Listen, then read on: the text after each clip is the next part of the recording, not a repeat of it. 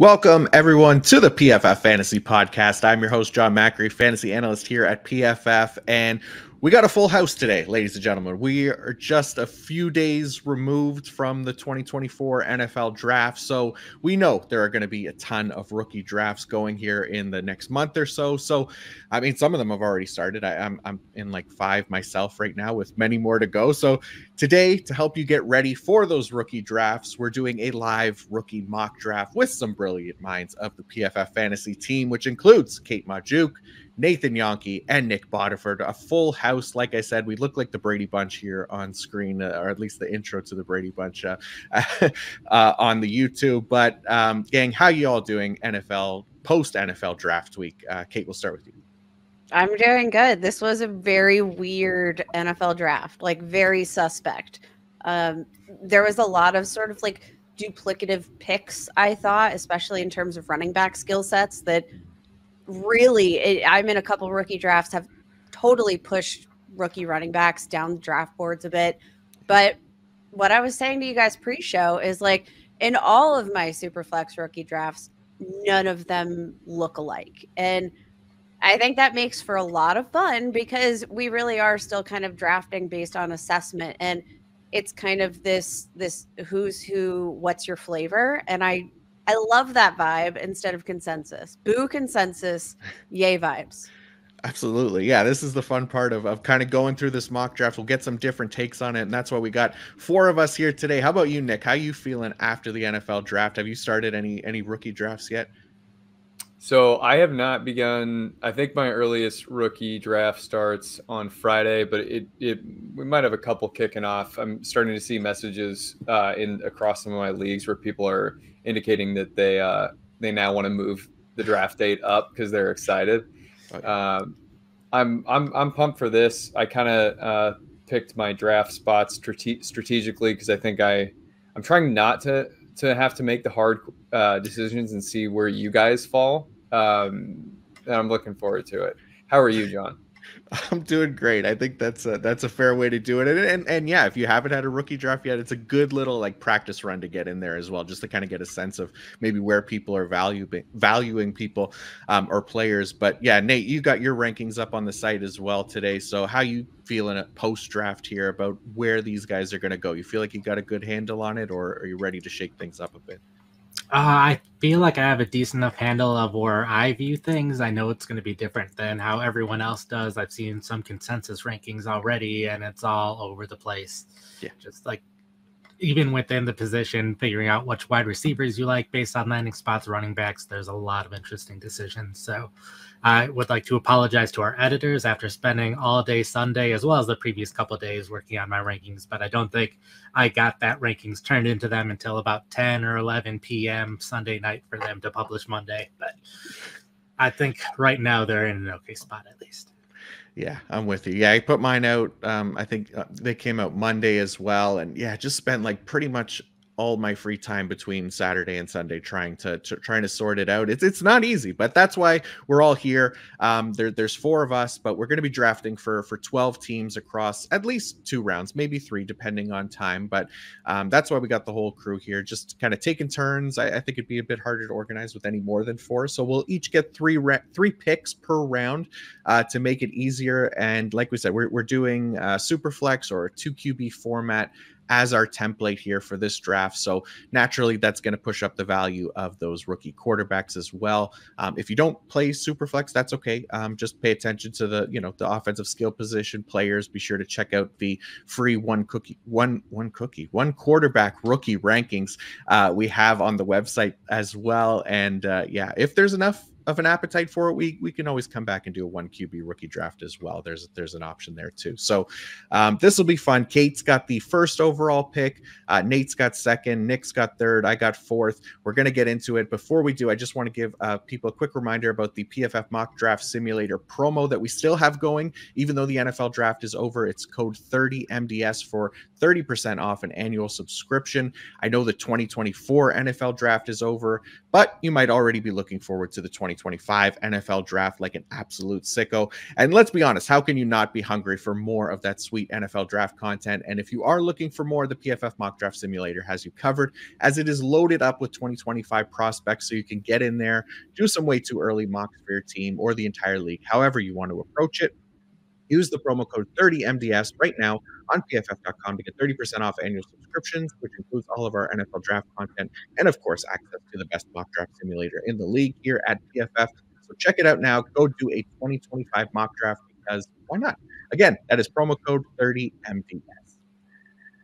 All right, let's go. Rookie draft season officially underway. So, what better way to uh, podcast post NFL draft than to do our own rookie mock draft? We're going to get right into it here. Uh, again, this is super flex, two QB format, and of course, dynasty since you don't do rookie only drafts for redraft. So, let's start off with pick 101. Kate, you are on the clock. Who are you taking to kick things off? Caleb Williams, the Chicago Bears quarterback. You could have already penciled that in. But, uh, you know, I, I think all things considered, like you're just drafting Caleb Williams for this generational ability to play the quarterback position. He's got a bit of a, a dual threat skill set, though that's not the pinnacle of his game. You love to see his ability and athleticism outside of the pocket, ability to create plays when things break down. Like all of these things are going to be huge assets to Caleb Williams. You add in the personnel that they got this guy in year one I have to imagine Justin Fields is sick to his stomach watching them build around Caleb Williams before he's even stepped foot in the city. But you've got Williams, you've got Keenan Allen, you've got uh, a solid running back core, you've got Rome Odunze. Like there's uh, a lot to like here. And then you pair him with DJ Moore on top of that. Like there's a very real possibility that Caleb Williams is a year one top 12 QB, maybe top 10, especially when you consider the personnel they're surrounding him with. Yeah, it's a it's a great situation. I I'm with you. I have Caleb Williams at 101 for for super flex as well. I, have seen it go both ways though. I, have seen other people take um, Marvin Harrison Jr. in this spot. Um, there's people maybe like Jayden Daniels a little bit more as well, but uh, I for the most part it's been Caleb Williams with some Marvin Harrison mixed in there. So Nate, you got the second overall pick. Are you going quarterback next? I know you got a Cardinals jersey on. I'm wondering if it is for a reason. Uh, yeah, I'll be going from one Cardinals great wide receiver to the next. I'll be going with Marvin Harrison Jr. for my pick. I do have Harrison Jr. just slightly ahead of Williams in my dynasty ranking. So if I had the 101, that's where I would lean. Um, I just think Harrison's a safer pick in terms of how good I think of a prospect he'll be. I think very highly of Caleb Williams as well. And I think really it'll come down to who you have on your roster. I'm perfectly fine with going with if you're solid at quarterback, go with the wide receiver. If you're solid at wide receiver, go with the quarterback. So kind of depends on your league, but I think Harrison, he's someone that in redraft leagues, I'll be perfectly fine starting him week one, whoever Arizona's opponent is. I just think he is that good of a player and that well polished. And I think in the Cardinals offense, uh, with Kyler Murray, sure, there's some better quarterbacks in the league, but that's also a fairly good situation for him to land with. Nice. Yeah, I love it. I mean, Marvin Harrison, clear 101 in in one QB leagues, and I think again, just based on what I've seen already in rookie drafts, there's there's an argument for him here at the top as well. So Marvin Harrison Jr. and Caleb Williams off the board. Nic, 103 goes to you. Are you going to go wide receiver or are you going quarterback now? You get the the fun choice as well. Yeah, I'm going to go quarterback. I'm going to go Jayden Daniels, Washington Commanders. The the decision here for me is between Jayden Daniels and uh, New York Giants wide receiver Malik Nabers. I do think Neighbor like I think Brian Daboll's job depends on uh, Malik Nabers. So I I'm not really worried about the the poor environment there, but um, what Jayden Daniels can do in his rookie season, I think, is extremely exciting. He, it's when I was compiling the the rookie rankings are, are are easy comparatively when you're when you're looking at the top 12 super flex and you're trying to rank the rookies within you know the the NFL player pool this is one of those where you want to rank the guy inside the top 12 but he's just like stuck at 13 i think uh, ultimately i'll, I'll settle on on daniels as like the qb 11 qb 12 but it's it, it's he's sitting right there at 13 right now um what I like about Jayden Daniels, he he gets knocked for being kind of slender, but he is he's you know he's 6'4, 210. So he is at least 210. He's he's slender, no doubt, but this isn't like a uh, you know a, a Bryce Young sized player. Per the uh, per, per PFF's uh, draft guide, Daniel scored a 93 grade or higher in all five passing related stable metrics. If you want to go look at what really matters most, though, his his rushing upside. So over the last two years, the uh, there have been four players each season who have averaged 21 fantasy points or more at the at the quarterback position. Uh, five of those averaged six or more rushing attempts. Attempts. Seven of them averaged 3.6 or more. Daniels is coming off a season where he averaged 9.2 rushing attempts per game. I don't expect that to be entirely sticky, but it just kind of drives the point home that this guy is going to run a lot. He's also very, very good. I think he makes his own case for being just the best pure rusher in this class, average 10.4 yards per carry. So I'm going to take Jayden Daniels here at the 1.03. There will be elements to Cliff Kingsbury's offense where he doesn't move the wide receivers around that will frustrate, but we know that he is going to funnel looks to Terry McLaurin. And there are far worse players that one could be stuck funneling targets to. So I'm, I'm feeling okay about that overall. Nice. I love I, I, this pick, yeah. and I'm like all in on Jayden Daniels. I will say, like, I want to I want to touch on the the size component because obviously I feel like that's kind of been the biggest discussion of Jayden Daniels. Is not the the height, obviously, but the frame. And I actually don't have as big a problem with the frame, but what I do have a problem with is the way that he takes hits.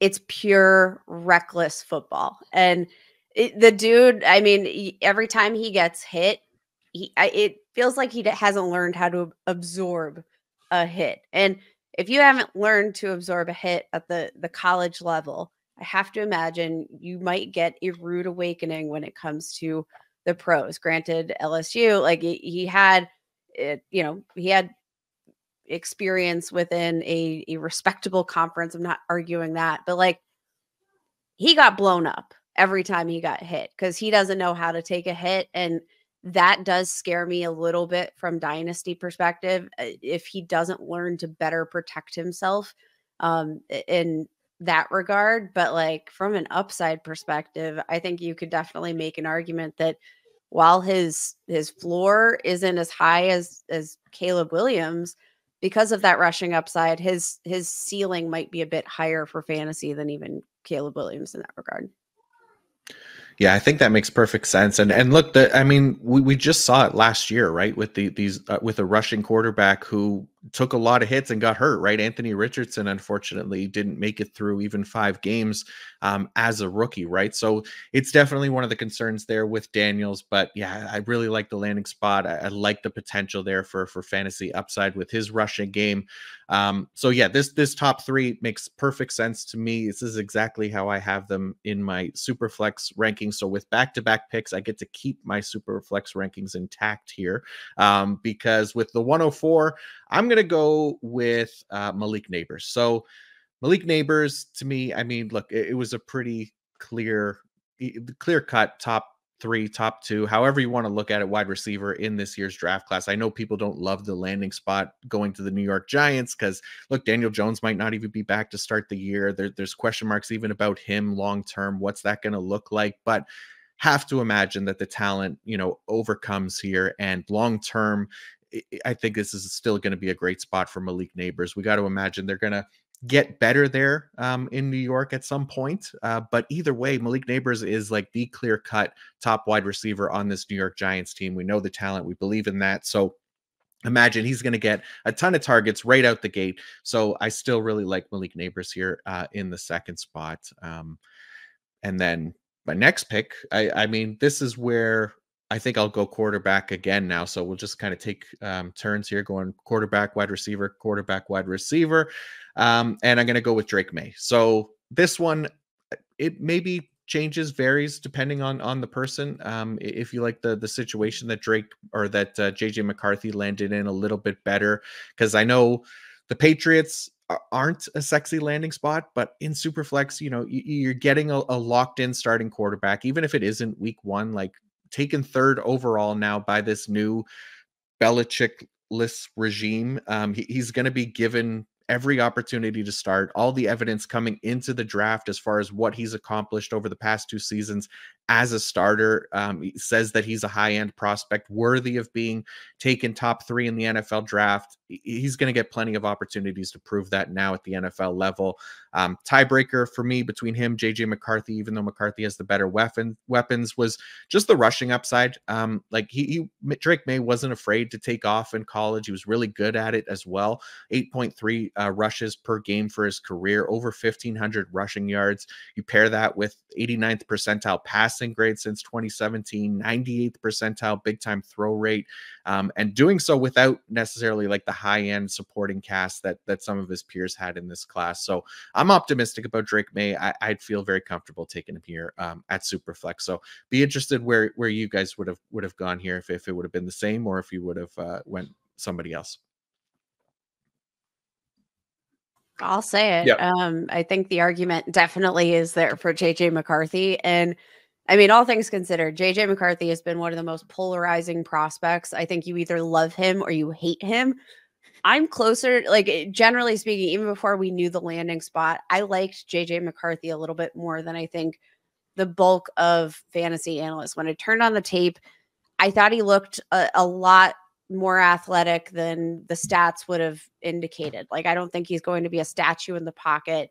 You're setting him up with this excellent weaponry. You have Aaron Jones now in Minnesota, who's one of the best receiving backs in the league. Like, I think you can make the case perfectly. It's kind of like a pick your poison. If you're going to roll solely based on talent, then I think you go Drake Maye. If you're going, towards situation with the question mark and the talent component because of the things he wasn't necessarily asked to do all that often in Michigan's offense, then maybe you go McCarthy. But I literally think it's one of these pick your flavors situations. And I don't know that there's a wrong one.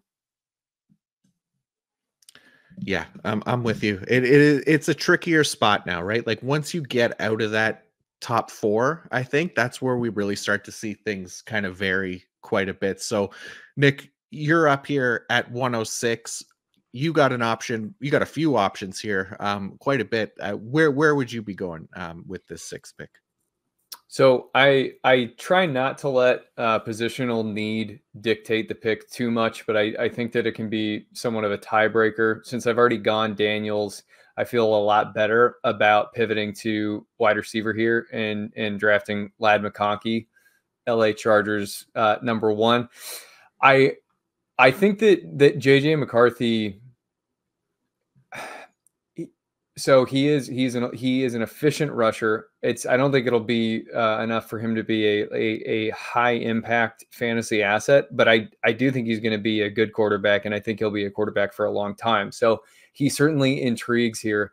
Um, for me, though, what I'm looking at with Ladd the guy the guy landed in basically the ideal uh, spot where Harbaugh has has cleaned house. It's Josh Palmer who just peaked. I, I think I think his uh he had a career high. It was 1.7 something yards per route run last year. Prior to that, he was stuck in like 1.2. I think that Josh Palmer, that is. Um, I, I think Palmer is like a capable number three or four, but him sitting atop the depth chart is ideal for an NFL ready route runner. This is also kind of a unique situation. You compare this to the New York Giants, um, where they've got a a you know ACL reconstructed Daniel Jones back there. Justin Herbert. It was like two years ago we were talking about him versus Patrick Mahomes. The guy can still play. I don't think that the the passing volume will be as high as I want it to be, but they're going to run with a decent pace of play. Greg Roman is a good play designer. Um, I think McConkey is just going to like walk into 120 targets here, and I he he he wins on the perimeter. He's very good in the intermediate to to deep zones. He's he's not like the the kind of slot receiver that he was kind of billed as. Uh, I think he can be a, an efficient, high volume fantasy relevant wide receiver in year one. So Ladd McConkey for me uh, at 106. Nice. I like it. That is the um, earliest I've seen Ladd McConkey go anywhere. So, Nic, I want to give you some kudos. You got bold today. bold. Thank you. Bold. Um, I'm just hoping you guys leave me my guy here uh, at the turn. But who's next at the 107? I'm next. Yeah. Yeah, Nate, who do you got? Um, even though I'm the only one who hasn't picked a quarterback yet, I'm going to stick with my draft board and I'm going Rome Odunze next. Wow. Um, I know I, Kate was saying at the top of this how interesting this draft was. And I think part of that is how much different my rankings are and everyone's rankings are in terms of redraft versus dynasty in this class because there's a lot of players why I have them higher in dynasty and lower in redraft or vice versa. So there are other wide receivers that I think will have a better rookie year. But just in terms of the talent that he has, and I think the gap in talent between him and all the wide receivers picked after him, even if it's not this year, I think long term he will end up being the better option. Uh, Keenan Allen's not going to last in Chicago forever um, at his age, and DJ Moore, um, he doesn't have a long term contract with Chicago, so they're going to have to decide what to do with him at some point or other. But even if DJ Moore is in Chicago long term, teams can support two fantasy relevant wide receivers. We've seen that plenty in the last couple of seasons. So for me, it's sticking with talent, even though short term, I don't think this was the best landing spot for him. But if I can get two of the top three wide receivers in the class, uh, in the class that's the best, at least at the top, the best wide receiver class we've seen in a while. We haven't seen this many wide receivers get picked in the top 10. I don't remember the last time we have. So I'm perfectly happy to get two wide receivers who are top 10 draft picks.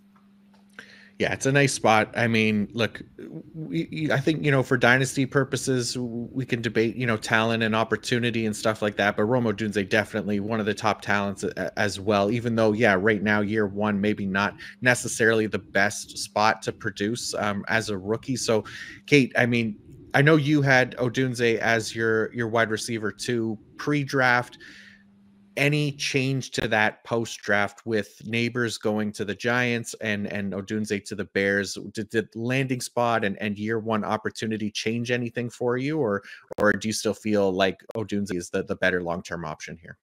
Not in terms of dynasty value. Obviously, you're going to be a little bit more reactive to that in a redraft situation where mm-hmm. you've only got one year. So I I look at the long term prospects. I look at the fact that he is coming into this situation tied to Caleb Williams for the length of their rookie contracts, both of them respectively.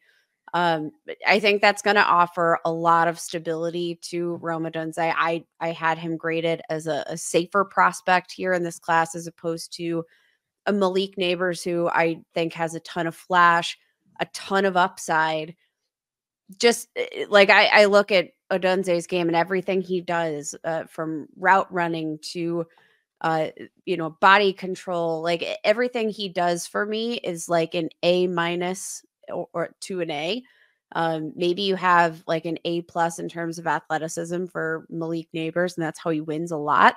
Um but i just think the level of refinement there is one that like talent will will ultimately win out in that situation regardless.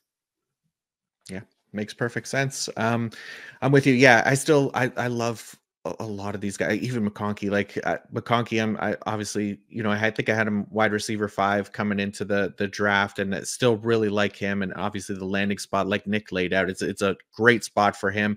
But there are a couple other great wide receiver landing spots um, still to choose from, but also another top quarterback on the board here at 108, where you are picking now, Kate. So where are you going to go with this next pick? JJ McCarthy, come on down. Thanks for leaving me uh the the you know QB3, QB4 depending on your rankings here, but in a super flex, I've got to prioritize that. Nic, like you mentioned, like I, I think the athleticism, while it's not going to bolster a high ceiling for JJ McCarthy, I do think that that's going to perhaps give him a safer floor than most prospects. Like I I could see him putting up maybe a perennial 200 rushing yards, five touchdowns. I wouldn't be surprised in the least. the weaponry, all things considered, I think JJ McCarthy is kind of a smash pick here for me. Um, you know, not not the same talent level as Drake Maye, not the same kind of upside as Drake Maye, but you can't really argue that he's been put in a pretty ideal situation for any rookie quarterback. Like I gotta say, Caleb Williams and JJ McCarthy, gosh darn spoiled when it comes to situation coming out. But yeah, I think JJ McCarthy is an easy one. And then I've got the next pick at the turn. So I'm this feels like my first real pick at this turn because I, I feel like JJ McCarthy doesn't even count. He was kind of a given. Um I actually so I'm I'm kind of in a situation right now where I'm struggling with the running back situation. Jonathan Brooks, my clear cut RB1. I think he has the most well rounded skill set in this draft class among all running backs. Obviously, the torn ACL threw an overall notch in his his you know overall draft stock, but like all things considered, receiving ability, pass blocking, I think he's kind of the complete package. But I keep looking at Trey Benson, especially for Dynasty, right? Like you look at his situation, he's being paired up with Kyler Murray, an ultimate rushing quarterback obviously going to be working behind James Conner in year one, who, by the way, has played just 13 games each of the last two seasons. So, like, not necessarily a guy who's been able to stay on the field. I'm going with Trey Benson here because I think like the upside there is tremendous. I like the direction that this offense is going in. I think you do too, Nate. And I don't know. It, it's really hard to imagine that this isn't going to be a high upside offense here in the next couple of seasons. And Trey Benson with the athleticism, I mean, it's like one carry and he might, you know, force two missed tackles and he's gone. And and that's kind of what I'm hoping for. And I think with an aging James Conner, maybe he does win that job year one. Yeah, I look. You know, I love um, Trey Benson. I, I had him as RB one um, pre-draft. I got him and Brooks right beside each other now. I, you know, not necessarily loving the draft capital, right? I think it was a, a third round pick where where Brooks was a second, right? But you know, again, relative to the position, we see the running back position devalued in the NFL. So second, third round picks is probably expected for these these top guys. So I, I like the opportunity, especially beyond this year. And yeah, you never know with with James Conner's health as well, what what that opportunity could lead to in year one as well. So Nate, where where are you at with these these running backs? Did you have uh, Brooks over Con or over um, Brooks over Benson or, or Benson over Brooks? Um, how do you how do you feel about this group coming in? Uh, yeah, I did have Brooks over Benson, so um, he's the running back that I would pick first. I'm not going to pick a running back right here, though. Um, I do like Benson's long term opportunity. I do think James Conner, uh, definitely underrated player. He played so well last year, and just no one really paid too much attention to it because it didn't necessarily always lead to fantasy value, and people weren't paying as much attention to the Cardinals. But he just consistently, week in and week out, was playing well but uh, he does have that injury concern, so that does lead to opportunities for Benson this year. And Conner's not going to be there forever, so mm-hmm. I do think Benson definitely the second best running back out of the class, and who I'd go number two out of the running mm-hmm. backs in Dynasty. But I at least was able to get one of the Cardinals on my team. But um, with my pick up, I'm going to go with Brock Bowers next. I'll continue just going with people that I trust to be talented, regardless of what situation they ended up in. I think the Raiders situation isn't necessarily the best, especially with Michael Mayer there. And they didn't invest a ton at the quarterback position currently, but I think tight ends who are talented find a way to be amongst the best in fantasy, regardless of what their situation is, just because there's only so many good tight ends in the league where the league is full of good wide receivers and full of good running backs that situation plays a lot more of a role where tight ends if you're really good you're going to get the targets and you're going to stand out in fantasy. I think trey mcbride was a good example of that last year regardless of the quarterback regardless of the offense in general he played well. And i think bowers has that talent so i think because of his talent he stands out amongst all the young tight ends in the league but also uh, definitely in this class, there weren't that great of landing spots for some of the tight ends either. A lot of the tight ends picked later. Some of them that were picked early were picked early because of the run blocking ability. So tight end outside of Bowers in this class is a mess. But like if you look at their PFF college grades, Bowers stands out among everyone of the past decade. And if you look at all the other Power Five tight ends who have graded well, a ton of them are the guys that you see at the top of the fantasy ranks these past couple years. So I trust Bowers where everyone else after this point, it's kind of hit or miss of if they'll end up working out in the NFL.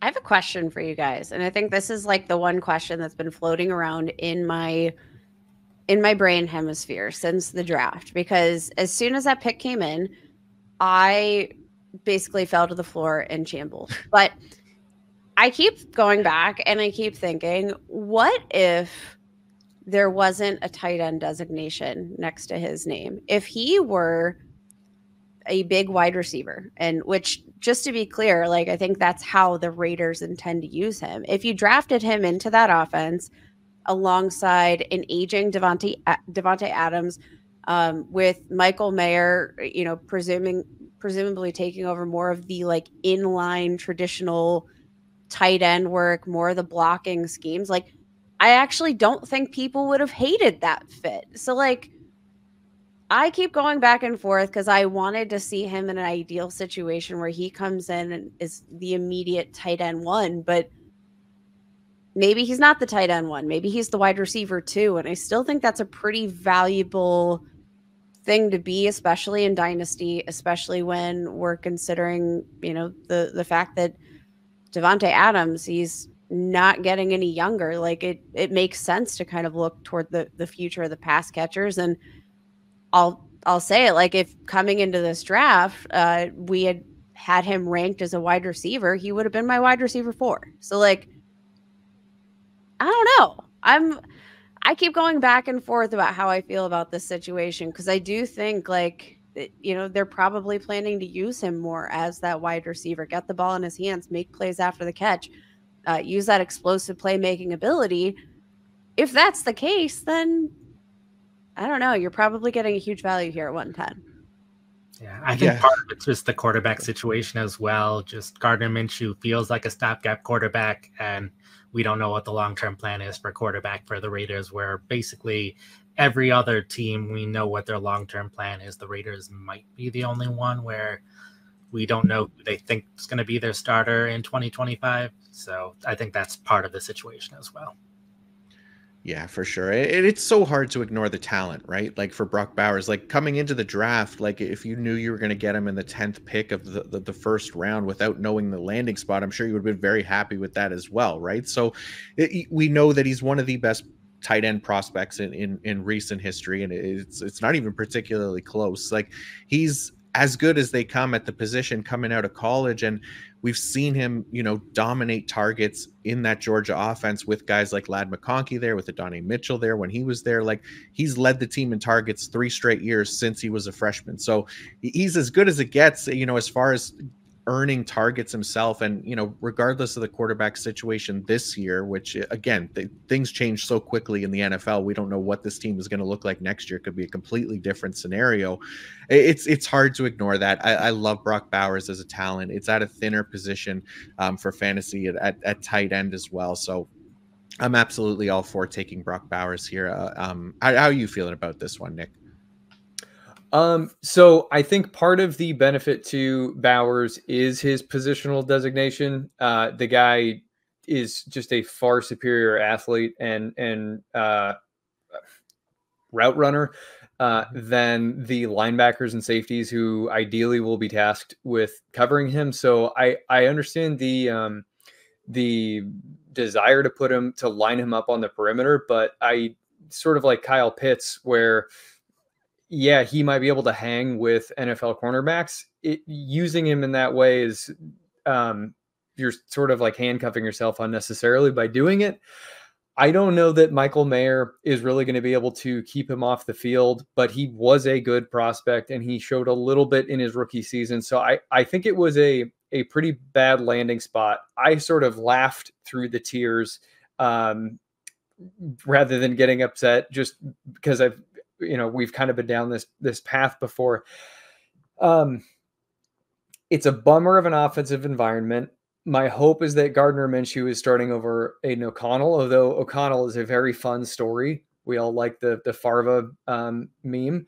Uh, but like he's he's gonna have to go compete with Davante Adams and Jakobi Meyers and um you know to some degree Michael Mayer, but like Tre Tucker, you know he's he's a second year guy too. He could be absolutely nothing. He also could be something. I think it's just kind of a jumbled mess for a team that's going to they'll use heavy play action, but they're not going to throw the ball a lot. Um, I now I say all this, and I also would have taken Brock Bowers there because of the strength of his profile. And if he does hit, what you're getting from the the tight end position is like that. That's a week winning difference maker in that lineup.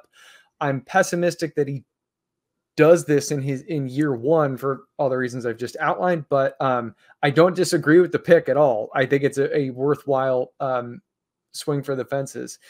Should I jump into 111 here? Let's do it. Cool. So um, for me, uh, I still want to go after. I'm, I'm drafting Keon Coleman, Buffalo Bills wide receiver. Um, one thing that I noted in pre-draft studies was that Buffalo, if, if you look at the starting lineup, so Khalil Shakir, Curtis Samuel, uh, Dalton Kincaid, none of them had all of their average depth of target last year was under seven and a half yards. So anyone who's just decent at working in the intermediate or deep areas of the field is just going to hoover up targets. They chose a six foot four, 215 pound guy um, who has some question marks about his profile, but when he has the ball in his hands, uh, I was looking at his his punt return data. 22 missed tackles forced on 24 returns, which is a 0.9 average. That's absurd. Um, something that uh, he, he got a knock in his profile for his 4 6 40 4 6 1 40 time, but he had a 1 5 4 split, 10 yard split, and he, he por- performed performed explosively in the jumping drills. Matt Waldman talked about Buffalo Bills, the Buffalo Bills as being his ideal landing spot because he can get open quickly and it's a, it's a winnable depth chart. But Josh Allen is also the type of quarterback who can who can buy time on his own. So if Coleman's speed comes into uh, question here or is an issue, Allen is the kind of guy who can extend plays and give Coleman time to win against the cornerback again after he's already gotten open once on the route. So I think that this was an ideal landing spot. It's going to be interesting watching Josh Allen work with a big bodied guy. Early in Allen's career, they tried to basically like bridge Tyrod Taylor to him and they brought in Kelvin Benjamin and they tried to do the the big body to pass catcher thing and it turned out that what he needed were, was a bunch of separators, and they they built out the depth chart with separators. But he is a much better quarterback than he was then. Um, Coleman is another guy like Ladd McConkey, who I think just waltzes into over 100 targets. Uh, could be significantly more than that. And I think that he, while the 4 640, it just kind of is what it is. Uh, I think he has the the requisite on field speed to be an excellent X wide receiver. So I'm I'm very excited to be taking him here uh, at 111. Does he have the ability to separate though? Is my question. Because uh, we'll find out.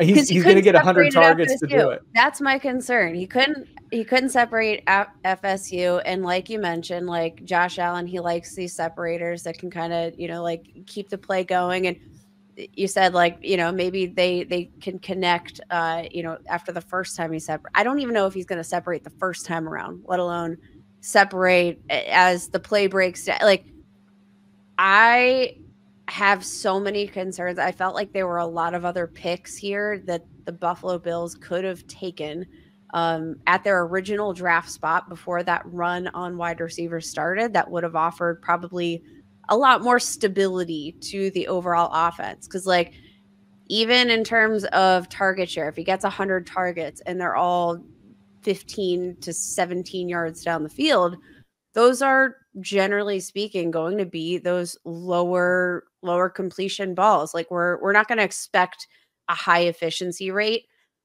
he profiles for me as one of these guys that's going to have immense upside on a week to week basis. Any wide receiver catching balls from Josh Allen is, but is he going to be consistent? And I think that's a big question mark that's just like surrounding him, surrounding the way that he plays football. That I'm not convinced because he has a hilarious opening pre- uh, presser that like he's going to be able to do that. I don't know.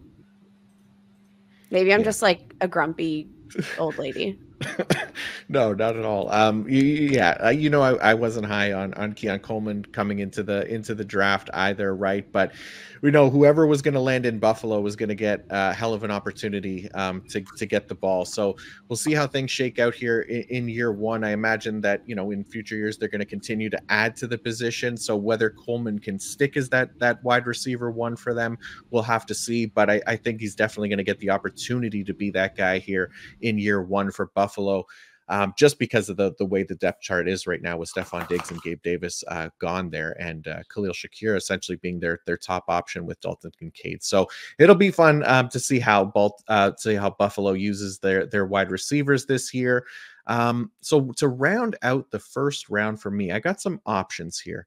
Um, and I think where I'm going to go uh, well, because I, it doesn't really matter because I get a second pick here. So I'm going to go with Xavier Worthy, um, who went to the Kansas City Chiefs in the first round. The Chiefs traded up to get uh, Worthy um, with the uh, Buffalo Bills.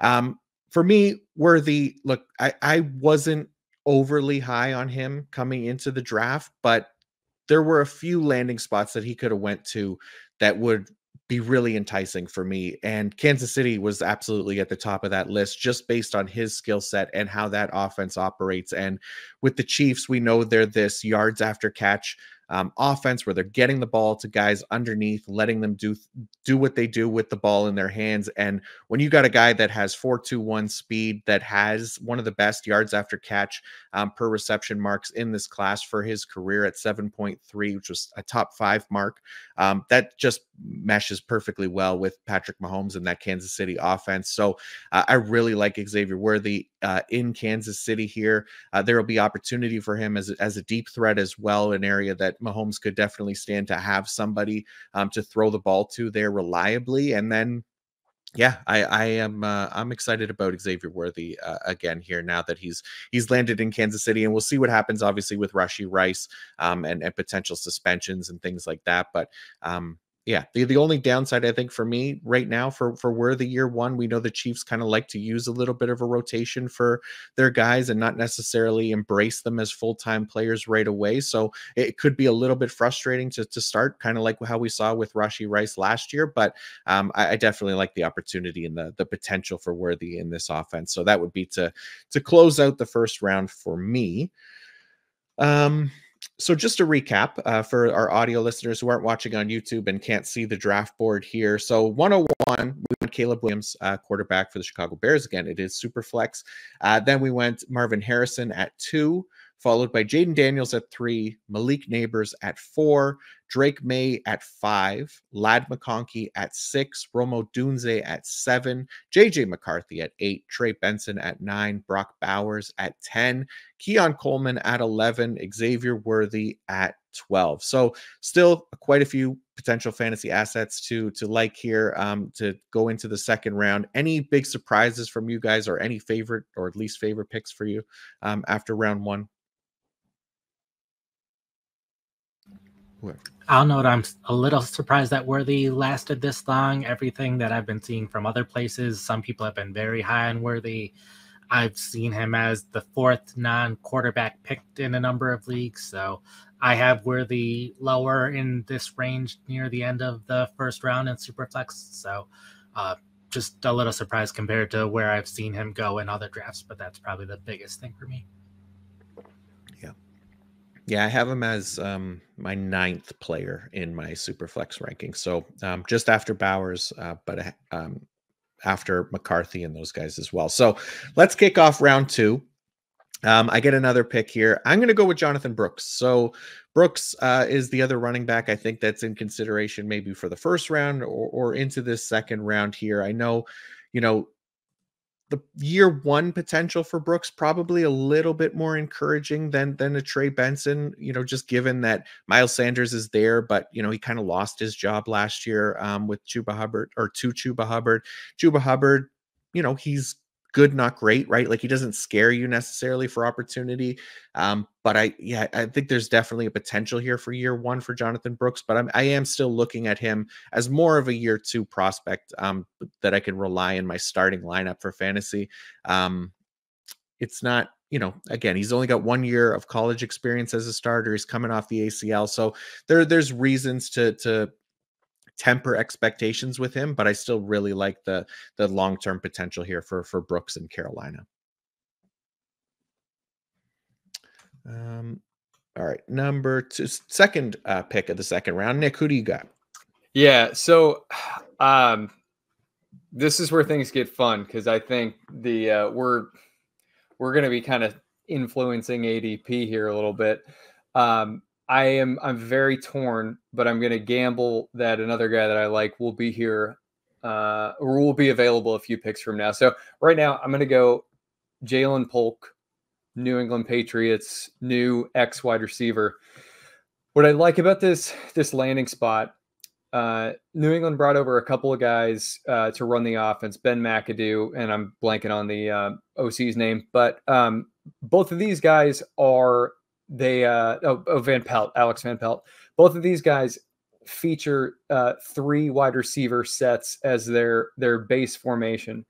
Typically, that's not necessarily a great thing for rookies because you'd rather have them earning targets against tight ends uh, and running backs. But I think that given the Patriots' current pass catching infrastructure, the three wide receiver set reliance is actually going to get these guys onto the field earlier and allow someone to separate uh, along with Demario Douglas, who may just get bumped out of two wide receiver sets, although I think he's currently their best like NFL pass catcher on the team. Um, but they're they're competing with Kendrick Bourne and Juju Smith Schuster, who are perfect. Uh, can you beat these guys? Type of players for rookies to go compete against because they're not very good, but they're they are, you know, veteran dependable enough that they can take reps away from an undeserving rookie. So I think Polk, he slides in on the perimeter as the number one uh, wide receiver very quickly in this offense. Uh, I am optimistic on Drake Maye's passing ability, and I think that that Van Pelt and McAdoo can give him a a workable scheme. So uh, Polk, I think, is the the best bet among the current New England pass catchers to be leading the team in in targets per game uh, by the end of this year, and and you know assuredly week one of uh, the following season.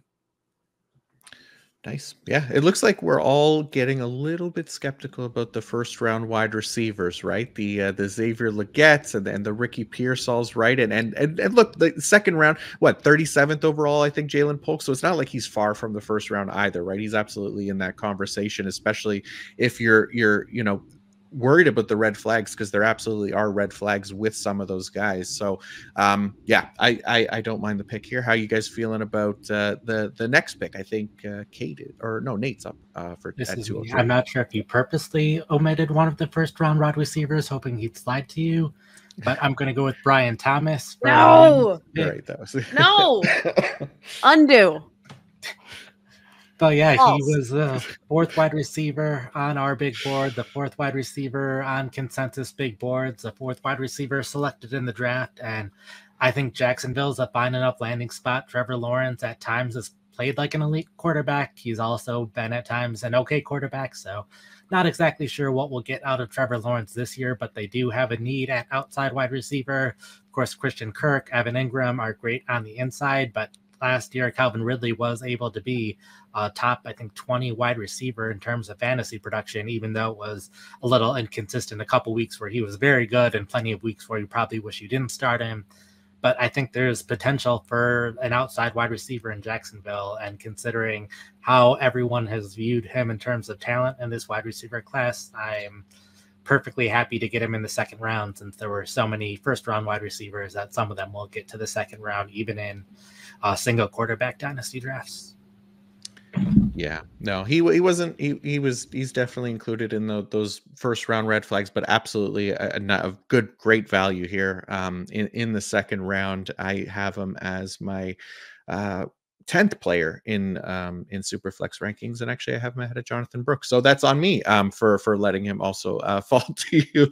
Um but uh kate you're up here next at uh 204 where are you going? You'd say it sounded like you wanted to go brian thomas jr a little bit yeah. I i love uh, the fit too like the player i have my question marks about him and that's why he wasn't you know sitting right alongside Rome Odunze malik Nabers in my rankings but the upside is tremendous. He's got elite size, speed combination. He's with a very good NFL quarterback. And like from a, a, scheme perspective, like can play a very different role than Christian Kirk is going to play in this offense. They just released Zay Jones. Like I, I think this is kind of an ideal situation for him, given the skill set. It's not very duplicative. Um, so yeah, I wanted Brian Thomas, and I was praying that nobody would say his name prior to Nate's pick, but here we are. So now I have to zag, and I might be zagging too hard, and I want y'all to feel free to drag me um, if I'm zagging too hard. I'm going to go with Malachi Corley, wide receiver for the Jets, who I love the skill set, like has more than earned his standing as the YAC King goes to the New York Jets, who desperately need a solid, true wide receiver, too. And he's a guy that I think you can generate touches for, get the ball in his hands and let him make the plays after the catch. Um, you know, Rob Saleh, who knows how long his his tenure will last here with the Jets, but um, you'll remember, you know, despite his his defensive kind of background, like he's from the Shanahan system. He's seen how to use this prototype of wide receiver a la a Samuel, um, where you can kind of generate those touches and just see what happens with them.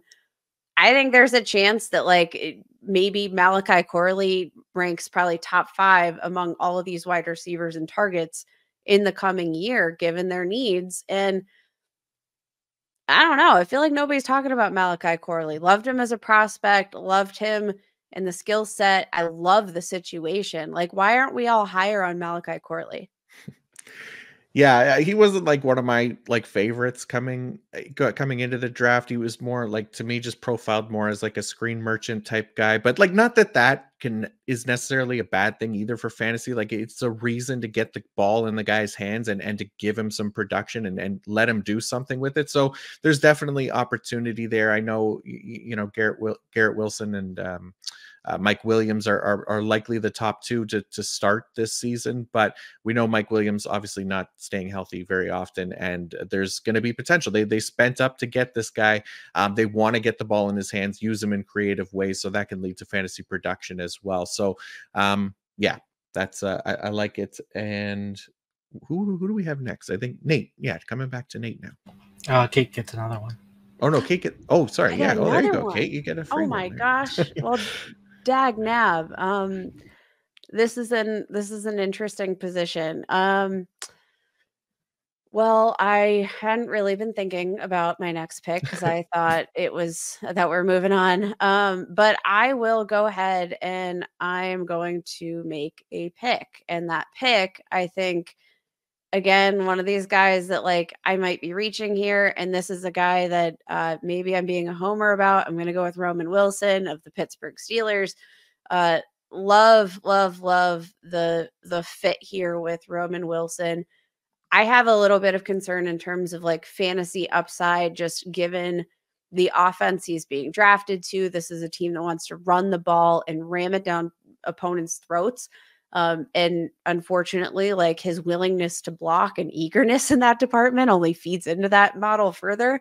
Um, but this is a bet on talent. This is a, a, a you know thought that Roman Wilson's skill set, like he could play out of the slot, but I think he's a true, um, you know, like deep threat out of the slot. He can play in the intermediate range. Uh, just love everything about his game, and I I don't think you know, I, I think the Steelers so badly needed a role player in that middle of the field that I don't really think they've had since Juju Smith Schuster. Nice. Yeah. Even while you were buying time there for your pick, I was trying to pull up the screen. I was just going to do like like mouse cursor circles around Roman Wilson to try to tempt you, but it turns out it didn't even need to be done. No, yeah, I, uh, I took yeah. the bait. Yeah, absolutely. Uh, Nate, where are you going at uh, at 206 here?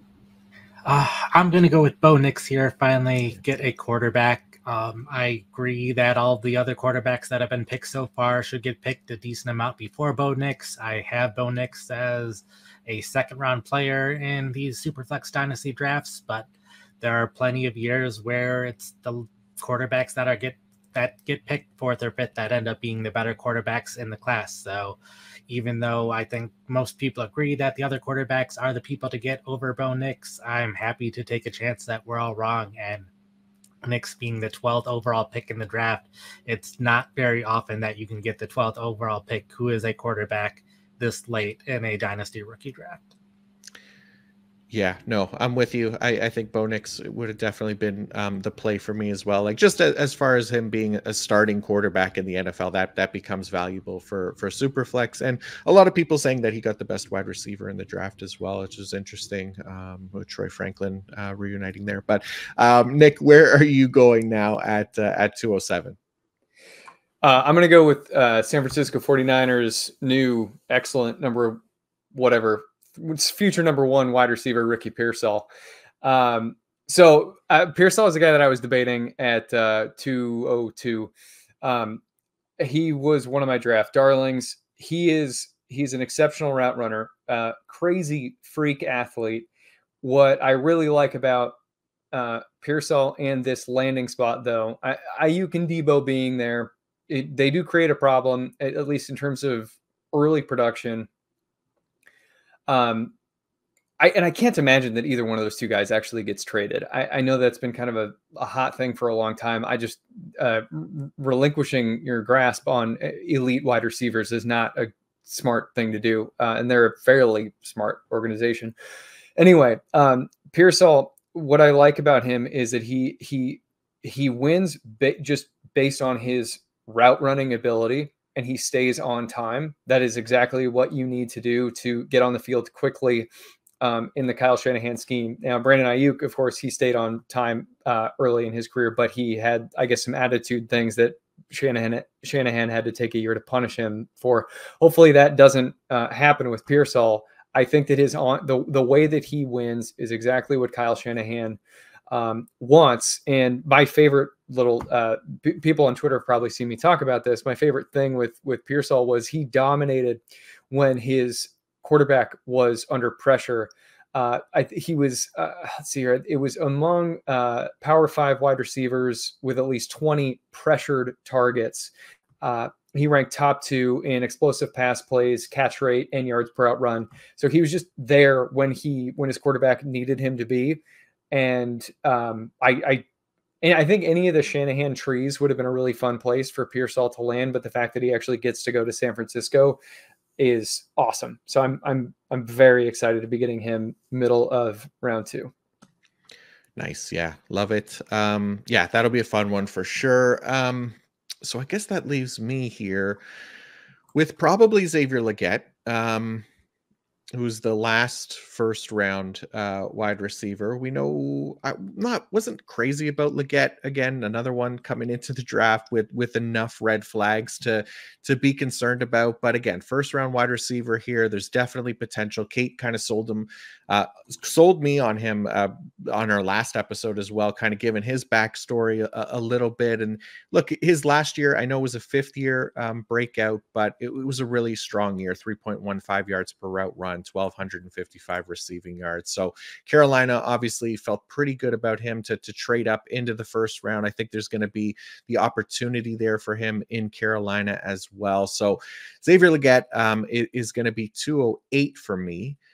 And then 209 is really tough because part of me wants to go Michael Penix Jr. just because it's super flex and he got top 10 draft capital in the draft debatable whether it, that was the right move, but you know what? Screw it. I, I'm going to go with Jermaine Burton um, because I, I really like Burton's play on the field. Um, obviously, that being you know the biggest thing because there are some off-field um, question marks with him, but on the field, I really like the potential when you're pairing him with a Joe Burrow.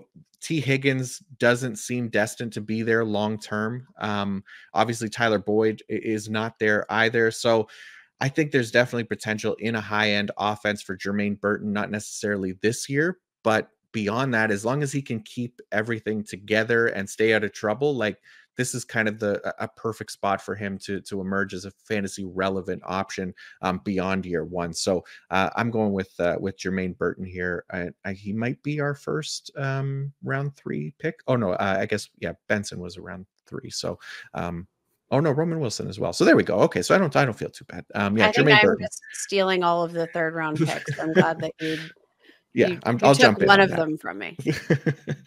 I will jump in on a third round pick. Why not? So uh, that's 208 and 209 for me. Nic, right back to you here for 210. Yeah, so I had planned on on taking um, Kimani Vidal here, but uh, you guys left Michael Penix, so I will just kind of hit the single here. Um, I think I really like Penix as a a prospect uh, and I was extremely impressed with his his pro day numbers. I didn't really know what to expect there, uh, just based on his lack of rushing profile. But the guy is an elite sack avoider. Uh, he flashed serious speed and burst at the pro day, and his passing talents. I I guess like there's there's some um, holes you can kind of poke in some of his like deep middle passing, but I the guy just looks like a, a prototypical cannon armed quarterback prospect. Obviously, he's probably not starting this year, and it'll be um, unlikely for him to start the following season. But I do think that um, Achilles tendon ruptures, I, I, probably put too much weight on them across. I, I don't know. Kirk Cousins probably comes back and has a good year this year but he is over 30 years old. He's coming back from an Achilles. I don't think it's necessarily a given. I was listening to uh, Edwin uh, Fantasy Points talk about how it's on his uh, plant leg, so that's that's a little bit more worrying than it than it being on uh, the opposite leg.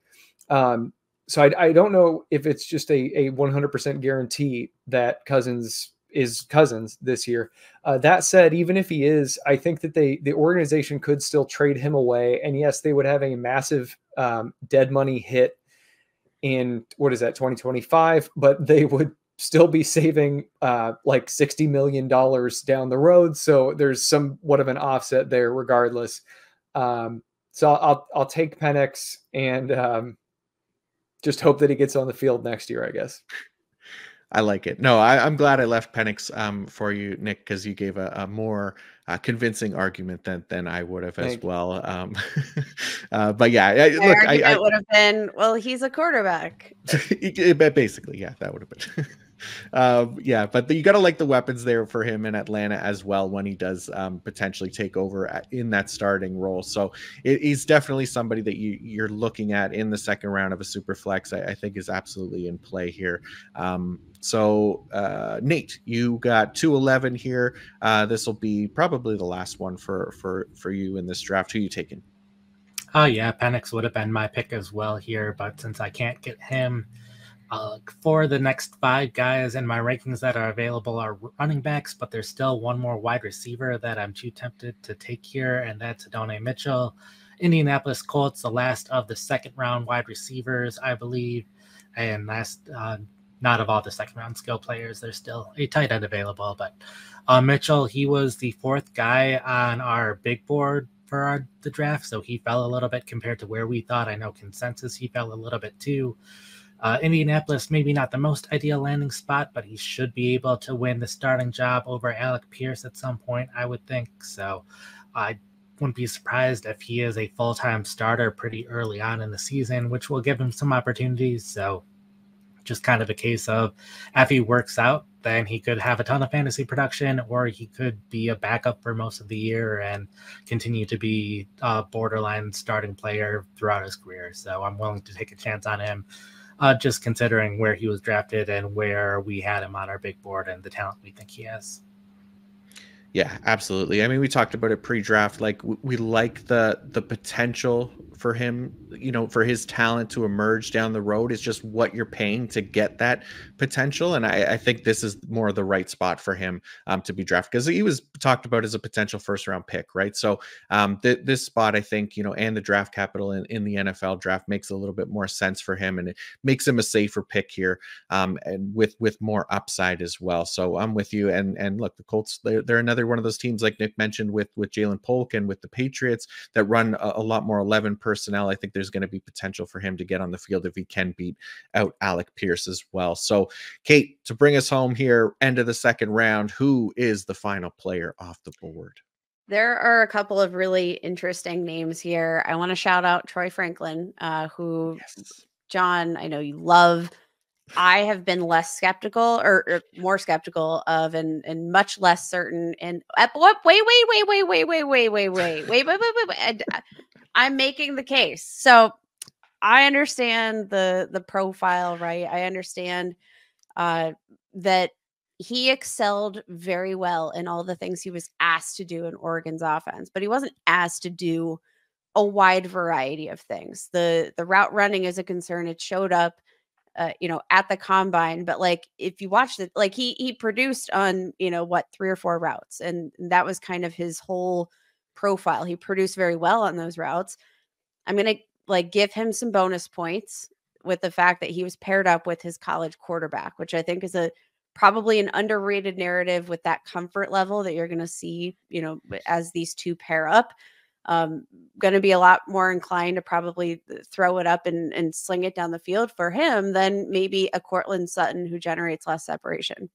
That being said, I'm going with Audric Estime, who oh. maybe uh, it is like a surprise, but I actually think outside of some of the top running backs that we've already talked about in this draft, Trey Benson, Jonathan Brooks – I actually think, despite the fact that he fell in the draft a bit, a landing spot with the Denver Broncos not a bad situation, given their their you know standing as a, a rebuild offense. You have Javonte Williams entering the final year of his rookie contract. I think Estime has true like three down potential that fell in the draft because of that that 40 time. I like it. I like the the landing spot. I really like the player. So I maybe it's a reach here because you don't necessarily have to draft him that early. But again, in this kind of draft situation where there is no consensus, I just want to get my guys. And Audric mm. Estime is my guy. I love it. Um, yeah, this is yeah. I I think I'm with you, right? Like once you get into this kind of back half of the second round and then beyond that, like you're definitely looking more for who you like and and because there's a lot of close ones there's a lot of reasons not to like these guys with red flags right? So there's there's absolutely some potential to emerge here that that could end up being nice values once we look back on these drafts um, a year from now or two years from now. So to recap um, that second round it started with jonathan brooks then we went to Ja'Lynn Polk then the third pick was brian thomas jr followed by malachi corley Roman Wilson in the 205. 206 was Bo Nix. 207, Ricky Pearsall. 208, Xavier Legette. 209, Jermaine Burton. 210, Michael Penix Jr. And 211 was Adonai Mitchell. And then to close it out, Audric Estime at 212. So we, are going to try to keep it at, about an hour today. So we're going to only do the, the, the, t- the first two rounds here. But just to quickly recap before we let everybody go, I just want to get everyone's kind of maybe favorite pick that they made, um, maybe outside of the top four um, that that were that are a little bit more chalky. But who was your favorite pick um, that you made in this draft, uh, or, or, at least where you got them in this draft? Um, Nate, I'll, I'll start with you. I'll go with Brian Thomas. Got him near the start of the second round. I have him as my ninth overall player in my rankings for these. So, uh, just being able to get the consensus wide receiver for that late in the draft and uh, pretty decent landing spot for him. So I was happy with that pick.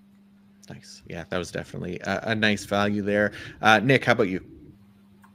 So yeah, I uh, I was all excited to to triumphantly talk about Kimani Vidal, and then everything panned out this way. So I, I feel freed in uh, in some way. Probably Ladd.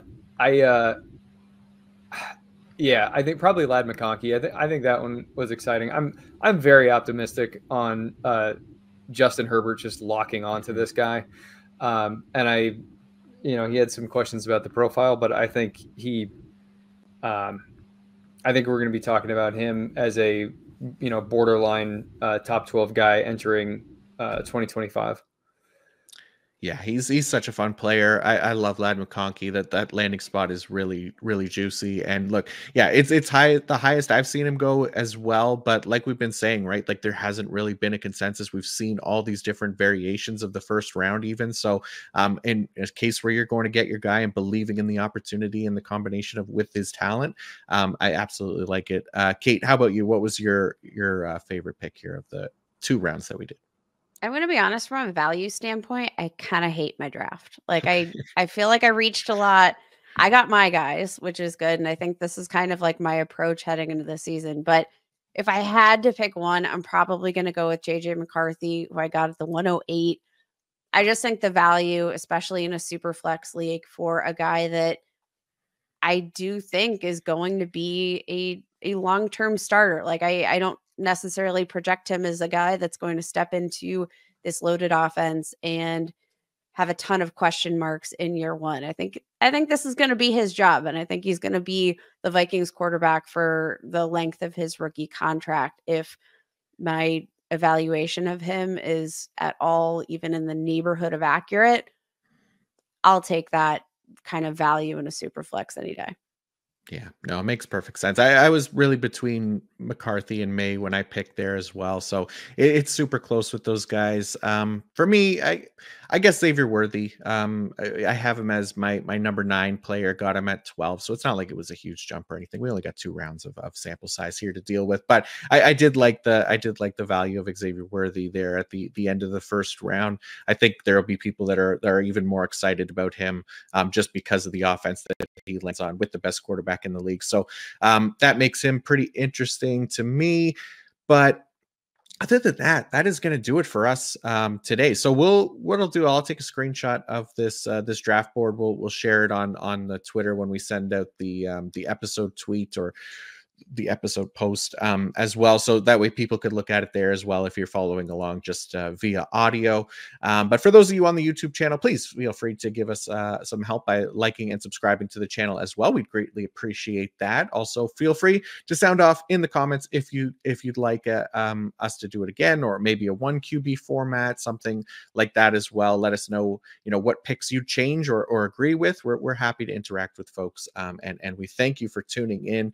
Nic's gone. Nic Nic disappeared. Uh, is he cut out there? Uh, Nic has some uh, stuff written up here on pff.com as well, and I think he's at Nic Bodiford uh, NFL on Twitter. Um, so, uh, Kate, how about you? Where, what? Please let everybody know what you got going on this fantasy draft season. Yeah, I'm uh, writing up five veterans that won the NFL draft. That'll be dropping on PFF on Wednesday. Um, give me a follow on Twitter at Kate Magdziuk. That's M A G D Z I U K. Awesome stuff. Nate, before you go, please remind everybody what else you got going on at pff.com as well. Oh, yeah, I have plenty of rankings going up. Uh, dynasty rankings, dynasty rookie rankings, superflex, superflex rookie. I'll have a trade value chart this week as well. Uh, next week, I'll also do update of my PPR rankings, and then I also plan on doing a write up of the mock draft that we just did. So you can get even more of my opinions when I write that up for next week. Beautiful. Awesome stuff. Yeah, as for me, got the rookie rankings up there as well for for one QB and Superflex rookie drafts. Um, IDP rookie rankings are now on the site as well. Tomorrow or Wednesday, I should say, um, we'll have the combined offense and IDP rookie rankings with a, a seven round draft strategy board. So that'll be up there Wednesday. Um, and then I'll be back in the feed uh, Friday morning reviewing and ranking the rookie edges um, for IDP with my guy Joey the Tooth from Football Guys. So be sure to check that out as well if you're into IDP. But until then, thank you all again for tuning in and peace out.